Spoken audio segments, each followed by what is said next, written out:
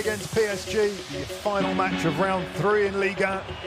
And immediately PSG could score within five seconds. Would you believe it?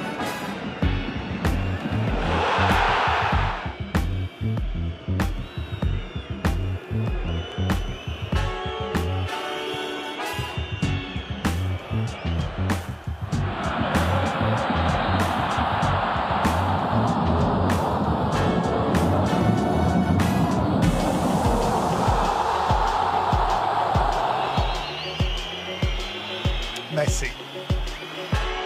Neymar cuts inside Messi! Whoa!